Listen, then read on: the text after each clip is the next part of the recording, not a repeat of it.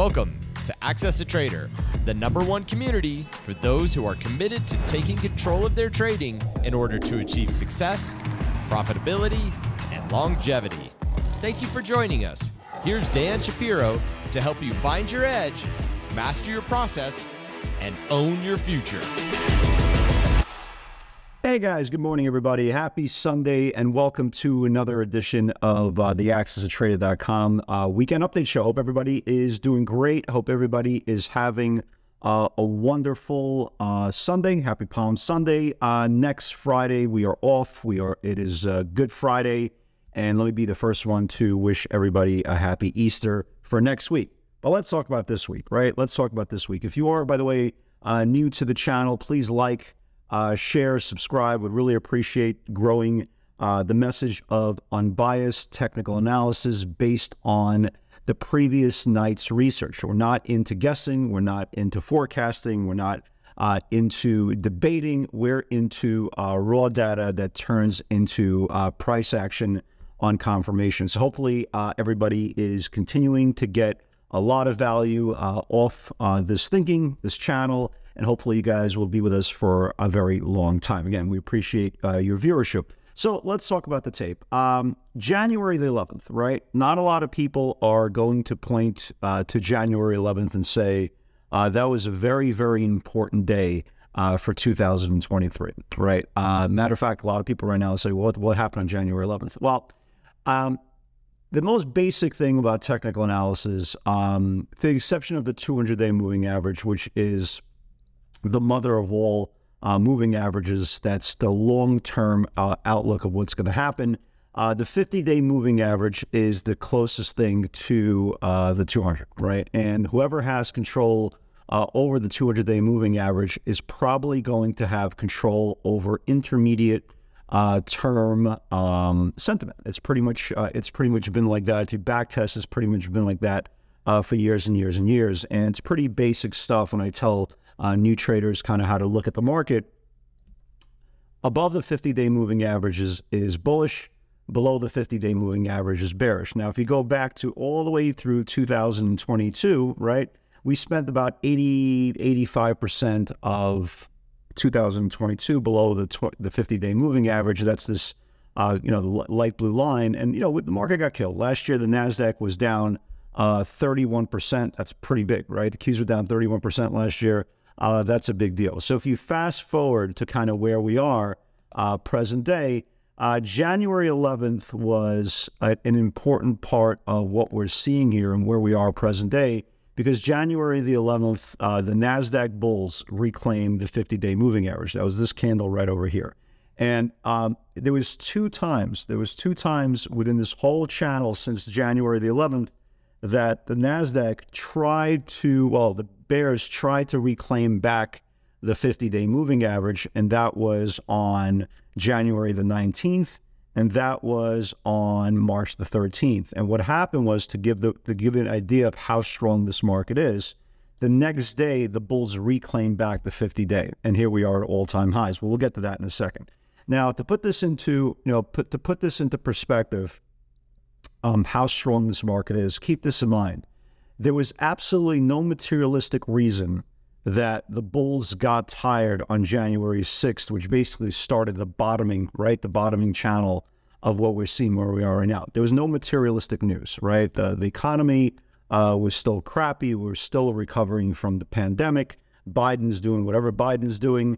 Uh, so there was nothing materialistically that you could turn to that day and turn around and say, well, we're going to be at all time highs only five months later. And again, raise your hand uh, after, you know, after, after what we saw in 2022 and what we saw for the first, you know, for the first week and a half, two weeks of 2023. Raise your hand if you thought we were going to be at, all, t- at, you know, uh, 52 week highs or yearly highs. Me either, right? That's the whole me either. And, you know, the one thing that I've, I've been always uh, trying to drive the point across, and I'm doing this for you know 24 years, a long, long time, right? I've stopped rationalizing what the market, what I thought the market was going to do, what I think is going to market do years ago. Okay, a decade, dec- decade and a half ago. Okay, I'm not that smart. Matter of fact, again, if you're watching this channel for the first time, I'm the king of the idiots. So the furthest thing from smart I am. So I, I don't go into any single trading day trying to predict or trying to show anybody how smart I am. I'm dumbing it down as much as I can. I'm proving to myself once again how my opinion doesn't matter and nothing that I think or, or, or believe that's going to happen in the future will actually play out that way, will go into fruition. So I try to play every single day based on the previous night's research. So if the market reclaimed the 50 day moving average on January 11th, you know, the notion going into January 12th was it, was going to be bullish, right? It was going to be bullish just because basic technical analysis above the 50 day bullish, below the 50 day bearish. And that's how I approach every single day. So the idea that we uh, are rallying right now, and I see a lot of people complaining and belly aching. Well, the economy sucks. The market sucks. Everybody's laying off. It doesn't, and again, has nothing to do with trading. It really has nothing to do with trading. There's always been a disconnect for years and years and years. And I've, and this isn't the first time I said it. I've been saying this uh, in videos for nauseum, all, going, all going all the way back to when we lost the 50-day moving average in 2022. The market and the economy means nothing. Again, keep this in mind. We had a global pandemic. Again, raise your hand if you ever thought you were going to live through a global pandemic in your lifetime. Right? Me either. We had a global pandemic that the world was shut down for two weeks. Right? Logically, we should have been cut in half. Right? Cut in half.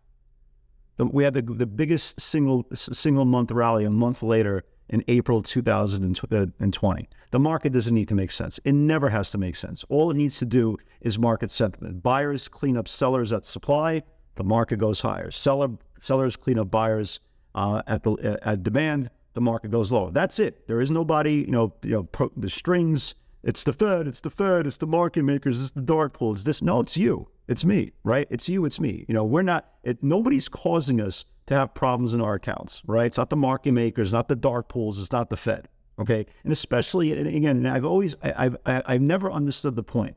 If you're sitting there complaining, well, the market's only going up because of the Fed, you already acknowledge, okay, there's a reason why the market's going up. Why not take advantage of the long side? Why sit there and bellyache? Well, the market's only going. Well, take take that information, use that information for, uh, to to progress your account. But no, you're going to sit there and complain about that the market doesn't make sense. This is stupid. Yeah, life is stupid. Life is not fair. Why do you think trading is any different, right? Life's not fair. Trading's not fair. Get over it, right? Get over it. Okay, we're not. You know, it, it's the world doesn't revolve around us. Market's either going to go up or market's either going to go down. There's there's nothing that you're going to put out there in the universe that's going to make it go your way. You want it to go lower. You want it to go higher. Doesn't mean the market wants to do the same thing. So it's very very important to kind of omit your opinion, right? Omit your opinion Stop arguing, right? Stop arguing with random strangers on social media that they're wrong that the market's going up. No, the market is going up, right? That's that's the whole point. We close at we close at the highs for the yearly highs. The market is going up despite what you think is happening in the economy. And again, I agree, right? You have inflation, you have you know you have some softening uh, housing prices in certain parts of the country. You have this, you have that, you have the third, but yet here we are, right? Here we are. So instead of spending your time unproductively, okay, um, fighting with complete strangers about what you think is going to happen in the market, which, by the way, nobody cares about, right? Nobody cares about, right? Nobody cares about your opinion. Nobody cares about my opinion.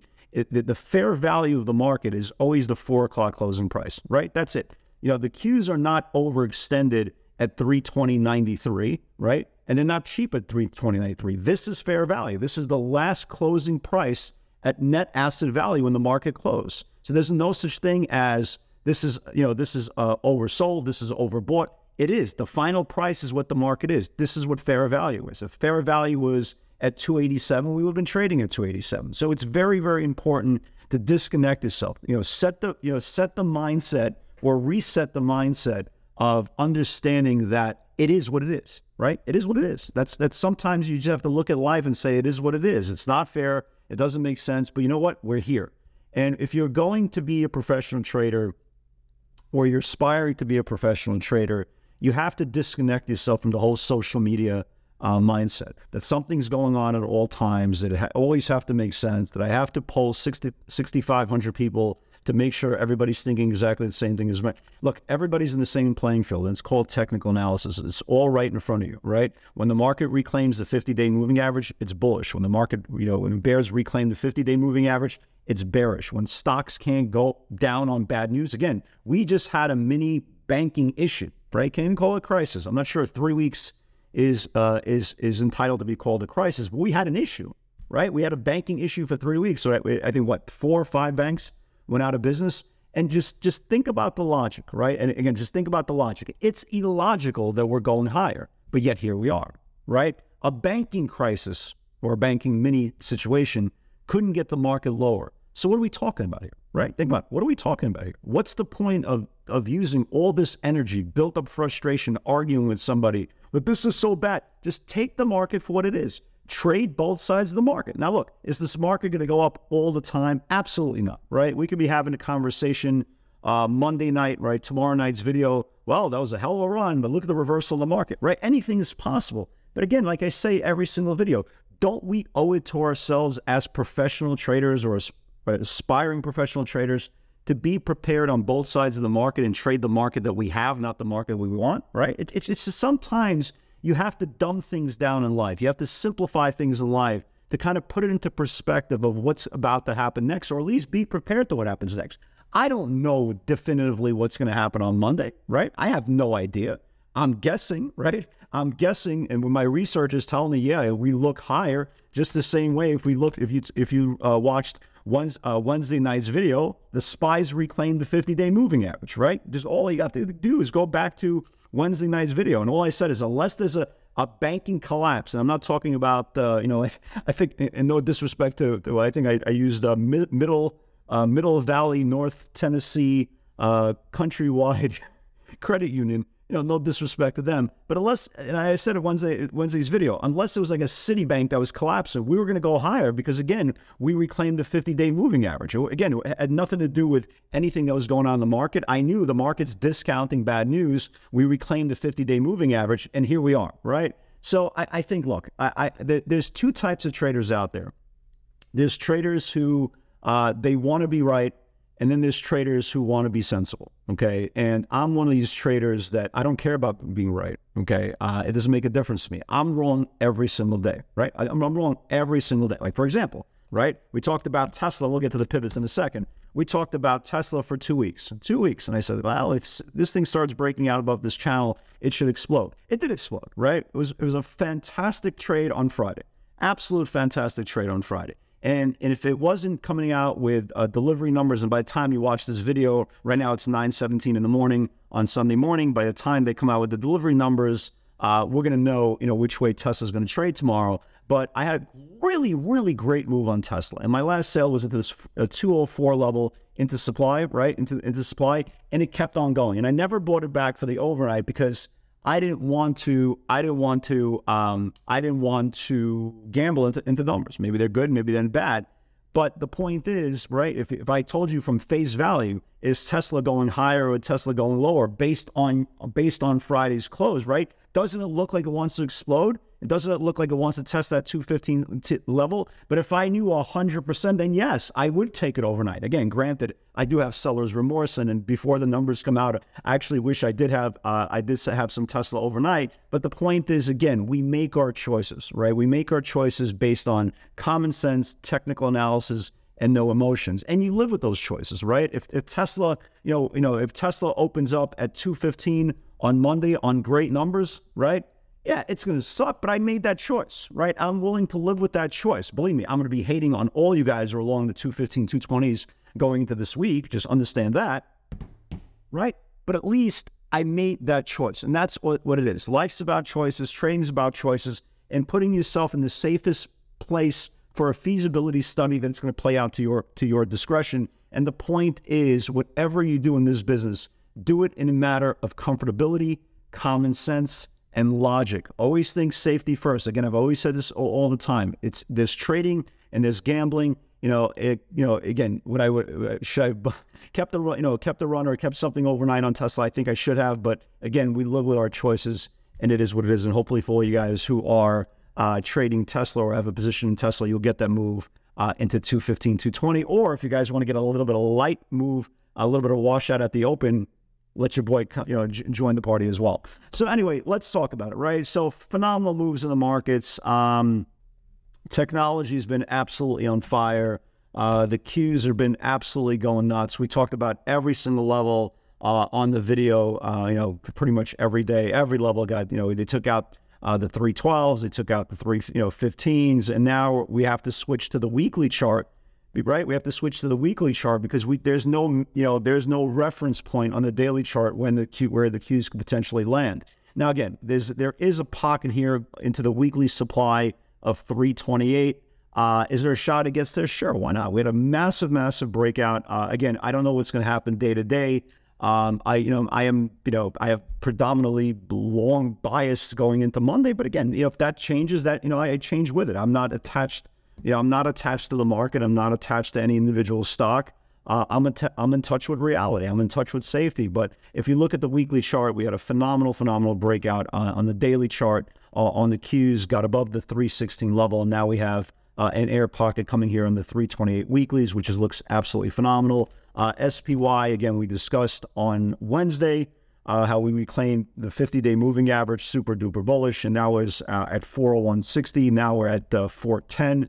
Uh, if you look at this whole channel here, it has room. The next supply is roughly 413, and then we have about you know 414 and on, uh, so forth and so on. Uh, the one group that had a little bit of issues was uh, this week was the IWM because there was so many of these regional banks.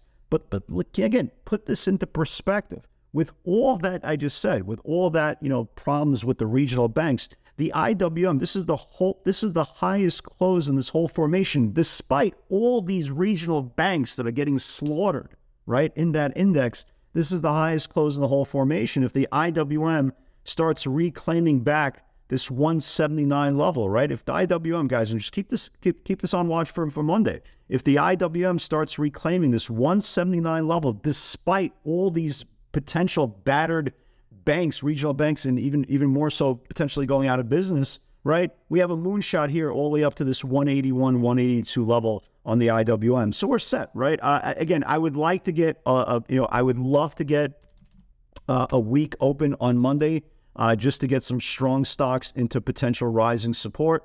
You know, we'll see if that happens. There's a lot of really great looking channels. Um, you know, the market looks really, really good. It really, really does. So let's talk about uh, let's talk about uh, let's talk about the pivots on Friday. As you can imagine, uh, everything went nuts. All these all, all these charts that we talked about, we, we, we've been you know we've been covering day in day out.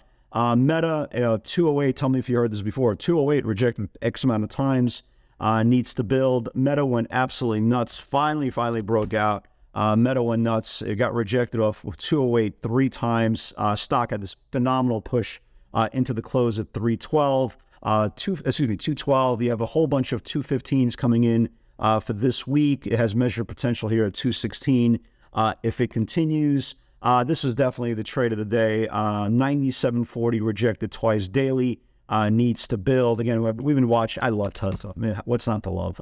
So Tesla again took out this whole channel here, right? This little baby channel here, and this is kind of what we talk about sneaky pivots.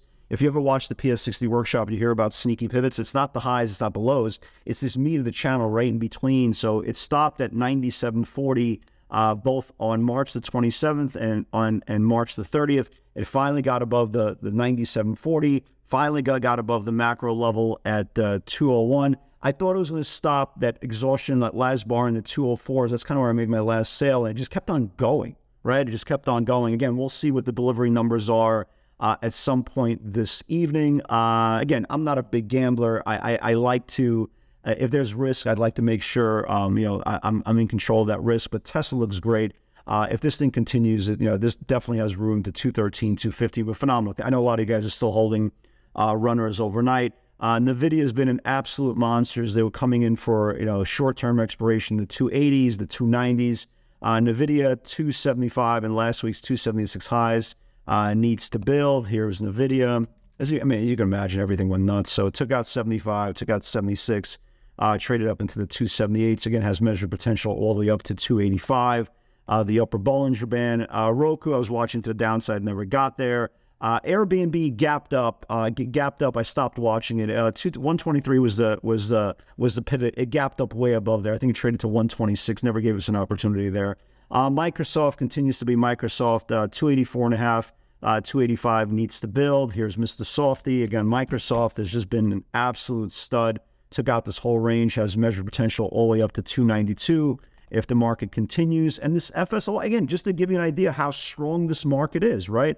FSLY has nothing to do, absolutely nothing to do uh, with beta, with with with uh, mega cap technology. 1720 uh, needs to build. Here was FSLY, right here. FSLY took out the 1720, uh, traded up to 18 and change. Uh, this thing uh, looks higher as well. So again, we're set up. You know, we're set up for Monday. Uh, market looks good. Again, would it, would it shock me that we're down 300 points on Monday? Nothing shocks me anymore. But that's the whole point. You want to be ready uh, for both sides. So let me give you guys some uh, some ideas for uh, going into Monday. Uh, the AI group has been out of its mind. AI obviously has been the leader.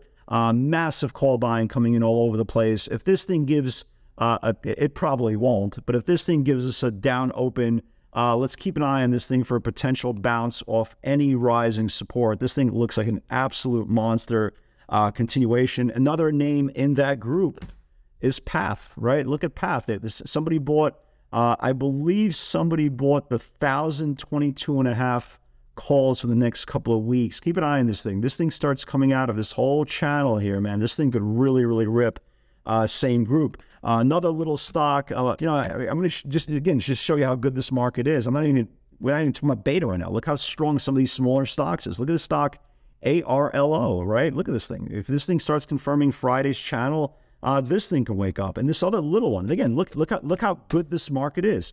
RLX, right? RLX, a buyer came in for 10,000. There was a block of 10,000 for short-term 350 calls. So again, market looks really, really good. Um, again, folks, remember, that, that, look, you could spend your time productively making yourself better, being a better person, better father, better husband, better wife, better friend, better brother, better sister, better trader, or you can sit there bitching and moaning about things you can't control, right? You're sitting there complaining about this just total strangers about how horrible this market is because it's not crashing while you're waiting for this crash in the world to go to zero and the meteor to come and kill us all, you're missing a really, really cool market. Okay, guys, stop, you know, stop the whole, you know, bravado, stop the whole being, you know, being that type of person. Live your life, put a smile on your face. God bless, stay in business, and let's all meet up again tomorrow for another round of nonsense of Ash Shapiro returns. Guys, have a great day, have a great week, and I'll see you guys all tomorrow.